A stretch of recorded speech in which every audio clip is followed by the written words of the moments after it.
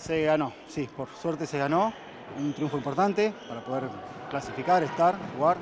Eh, bien, bien, jugamos bien, un lindo grupo.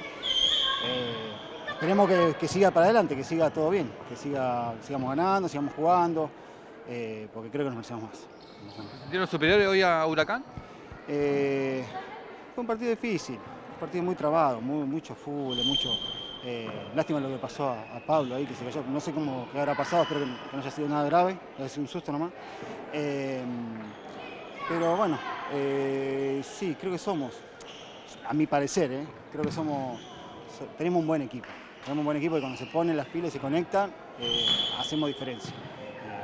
Nos pasó eso en el prefederal también y también tuvimos buenos partidos y malos partidos. Tenemos eso, ¿viste? Pero creo que tenemos un buen equipo para seguir peleando. Después del prefederal dejaba una vara muy alta, ¿no? Y sí, sí, porque vos, cuando uno por ahí no se espera o algo, eh, y salís campeón del prefederal, después tenés que, tenés que cumplir dentro de la cancha, no podés. eh, podés ganar, podés perder, esto es así, pero vos tenés que tratar de demostrar lo mejor posible. Un partido duro desde lo físico. eh, bueno, estuvimos bien al principio y después en el segundo cuarto ellos eh, impusieron su, su físico, su intensidad de juego. Nosotros no pudimos, eh, no pudimos equilibrar esa situación. eh, tampoco los tiros de tres puntos entraron para nosotros, así que bueno, merecido ganador Racing.